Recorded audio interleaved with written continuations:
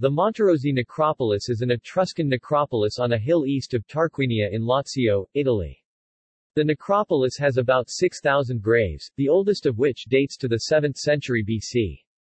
About 200 of the gravestones are decorated with frescoes. Monterozzi was designated as a UNESCO World Heritage Site in 2004, notable as the depiction of daily life in the frescoed tombs, many of which are replicas of Etruscan houses, is a unique testimony to this vanished culture.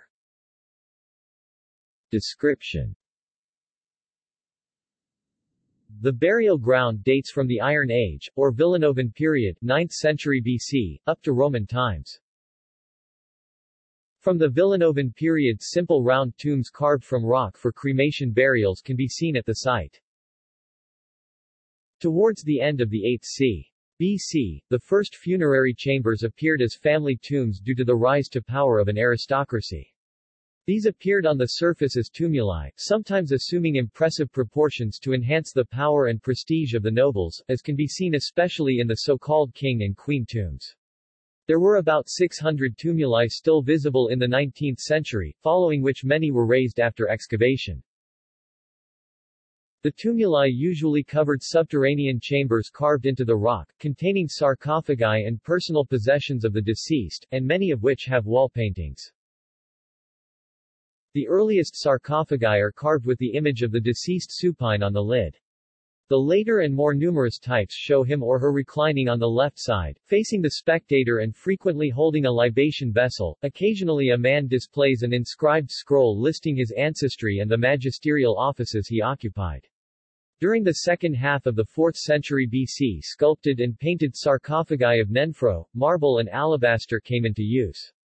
They were deposited on rock-carved benches or against the walls in the now very large underground chambers.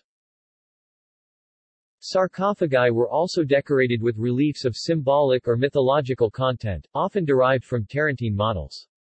Sarcophagi of this type, which continue until the 2nd century, are found in such numbers at Tarquinia that they must have been manufactured locally. The walls of the tomb chambers of the late period are painted with underworld demons escorting the dead on their journey to the beyond, scenes in the nether world, processions of magistrates and other symbols of the rank of the eminent members of the families buried there. Among the most notable painted tombs famous for the artistic quality of their frescoes are The Tomb of the Leopards has some of the best preserved frescoes. The Tomb of the Augurs the Tomb of Hunting and Fishing The Tomb of the Triclinium The Tomb of the Blue Demons The Tomb of the Bulls, the earliest tomb decorated with complex frescoes dated to either 540 to 530 BC or 530 to 520 BC.